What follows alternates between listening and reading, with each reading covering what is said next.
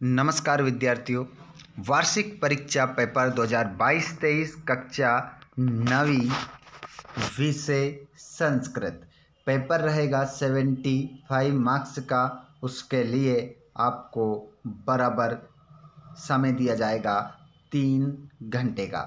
तो चलिए स्टूडेंट्स, आज के इस वीडियो में हम एक से लेकर तो तेईस तक पेपर का संपूर्ण सॉल्यूशन देखने वाले हैं। यदि आप चैनल पर पहली बार आए हैं तो चैनल को सब्सक्राइब कर लीजिएगा और अपने सभी दोस्तों को शेयर कर दीजिएगा। चलिए स्टूडेंट्स, पूरा का पूरा पेपर, वार्षिक परीक्षा 2023 कक्षा नवी, सब्जेक्ट संस्कृत। पूरा सॉल्यूशन के साथ हम देखेंगे। अपने हाथ में कॉपी और पेन रखिएगा और इन प्रश्नों को नोट कर लीजिएगा। पीडीएफ चाहिए तो आप टेलीग्राम को ज्वाइन करिए हमारे। डिस्क्रिप्शन में लिंक है, वहाँ पर आपको पीडीएफ भी मिल जाएगा। चलिए फ्रेंड्स तो क्वेश्चन क्रमांक पहले से हम स्टार्ट करेंगे संपूर्ण सॉल्यूशन के साथ। यहाँ पर देखेंगे क्वेश्चन नंबर पहला, उचित विकल्पम चितवाह लिखत। उचित विकल्प चुनकर लिखना है, बहुव्री बहुव्री समस्य उदाहरणम अस्ति। यहाँ पर चार ऑप्शन आपको दिखाई दे रहे हैं। इन चार ऑप्शन में से वो ऑप्शन बताना है जिसमें बहुरी समास है। तो साथियों, दीन दानम, इसमें तत्पुरुष है, इसमें अव्यय भाव है, इसमें कर्मधारा है, बचा क्या? पीताम्बर पीताम्बर में आपका बहुरी समास है। अगला क्वेश्चन यथोचितम इत्यश्च शब्द से संधि विच्छेद भवती यथोचितम का संधि विच्छेद क्या होगा? तो इसका जो संधि विच्छेद होगा, वो होगा यथाधन उचितम करेक्ट हो जाएगा।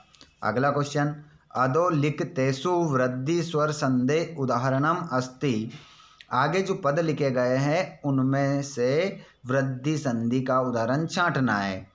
इसमें तो आपकी दीर्घ है, इसमें गुण है और इसमें आपकी वृद्धि है और इसमें आपकी यण है। एक ही क्वेश्चन से चार प्रकार के क्वेश्चन आपको कंप्लीट करवा रहा हूँ। ठीक है? देखिए, एक क्वेश्चन था, लेकिन चार हमने कंप्लीट करे। करे कि नहीं करे? आपकी आँखों के सामने। ठीक है? आप देख पा रहे हैं यहाँ पर। लेकिन क्वेश्चन इसी प्रकार आप नोट कर ले इनको कि शब्द में ये संधि है, इसमें यह है, इसमें यह है, सब मैंने आपको बताया वीडियो पीछे कर कर।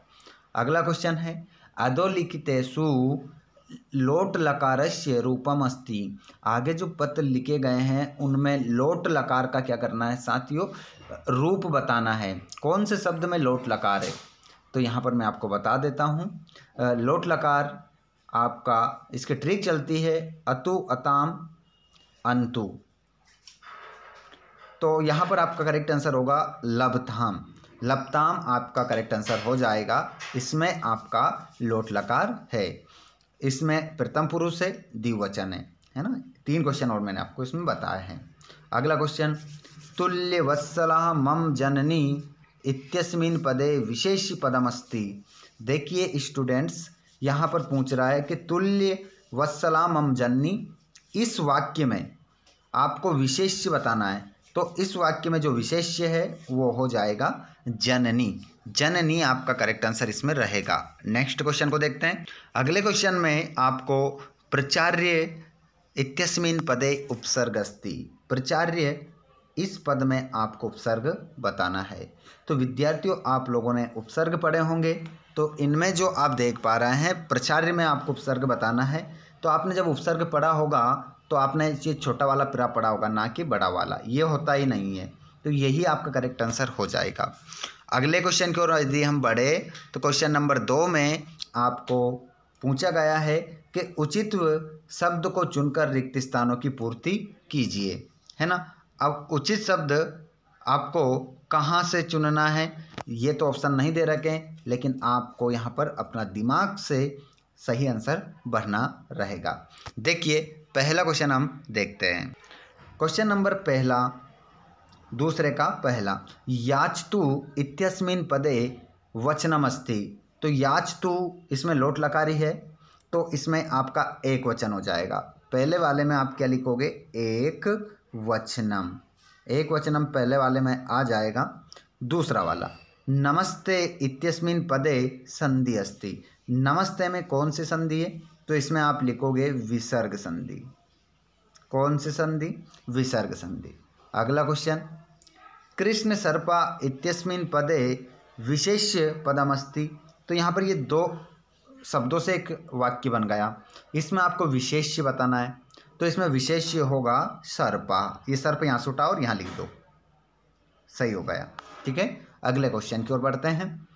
आपश्यन इत्यस्मिन पदे लकार अस्ति तो आ आपश्यन में आपका जो लकार हो जाएगा, वो हो जाएगा लंग लकार, भूतकाल। लंग लकार आपका करेक्ट आंसर इसमें रहेगा। अगला क्वेश्चन कश्चित कृषक आसित, इत्यस्मिन पदे कृषक विशेष पद बताना है। खालिस्तान में विशेष पद लिखना है तो कृषक आपका करेक्ट आंसर होगा। अगला क्वेश्चन राम लक्ष्मणों चा गच्छत। राम और लक्ष्मण, राम और लक्ष्मण दोनों जाते हैं। अस्मिन पदे अव्य अस्ति। तो अव्य क्या है? चा आपका करेक्ट आंसर होगा, यहाँ पर चा भर दीजिएगा। अगला क्वेश्चन हम देखते हैं। प्रश्न नंबर तीसरा। असु, शुद्ध वाक्य नाम समक्षम आम, अशुद्ध वाक्य कतना नाम समक्षम न इति लिखत। तो यहाँ पर मैं बता देता हूँ, कौन सा वाक्य शुद्ध है, कौन सा शुद्ध है। तत्र अव्यमस्ति बिल्कुल, आम। यहाँ पर क्या लिखोगे? आम। जहाँ पर मैं राइट का निशान लगाऊँगा, वहाँ पर आम लिखेंगे और जहाँ पर मैं कट लगाऊँगा, वहाँ पर आप ना लिखेंगे, है ना? ये ध्यान रखिएगा। त्रिभुवनम इत्यस्मिन पदे तत्पुरुष समास अस्ति ना। तत्पुरुष नहीं है। इसमें कौन सा है? द्विगु। बाण हता इत्यस्मिन पदे समास विग्रह बाणेन हता अस्ति, बिल्कुल, आम। और निर्दोष इत्यस्मिन पदे नी उपसर्ग अस्ति ना, क्योंकि निर उपसर्ग है नी नहीं। महाधन औषधि महोषधि अस्थि जी नहीं। इसमें गलत है क्योंकि दो मात्रा आएगी अव की मात्रा आएगी। इसलिए यहाँ पर कट लगा दिया। ना। द्रक्षति इत्यस्मिन पदे द्रस धातु अस्थि तो इसमें भी आपका आम होगा। चलिए नेक्स्ट क्वेश्चन देखते हैं। प्रश्न नंबर चार है आपका। युग मेलनम क्रुत। जोड़ी मिलाना है। किससे किसको मिलाना है? वी हाय। छोड़कर। तो विहाय में आपका ल्यप्य प्रत्यय है। पातुम। पातुम में आपका तुमुन प्रत्यय है। और पटित्वा में आपका कत्वा प्रत्यय है। और वाला में आपका टाप प्रत्यय है। और हसन में आपका क्षत्रिय प्रत्यय है। और गतवान में आपका कत्वतु प्रत्यय है। एक के बाद एक आप जोड़ी मिला लेना। अगला क्वेश्चन पांचवा। यहाँ पर आपको पर्यायवाची लिखना है। तो ये भी देख लीजिएगा। पहला क्वेश्चन हमारे दो दो नंबर में, यहाँ पर आपको पर्यायवाची लिखना है किसका? वनम का। तो वनन का, वनम का आप लिख लो, एक तो कानन लिख लो, काननम लिख लो, और एक लिख लो अरण्य। ये दो गए। और बहनों का रवि लिख लो और एक लिख लो दिनकर। ठीक है, ये दो जाएँगे। हो गए दोनों का? दो दो बता दिए। अगला क्वेश्चन अब अगले वाले क्वेश्चन में विलोम बताना है। उपकार का क्या हो जाएगा? तो ये लिखा है अपकार। और विलय का क्या होगा?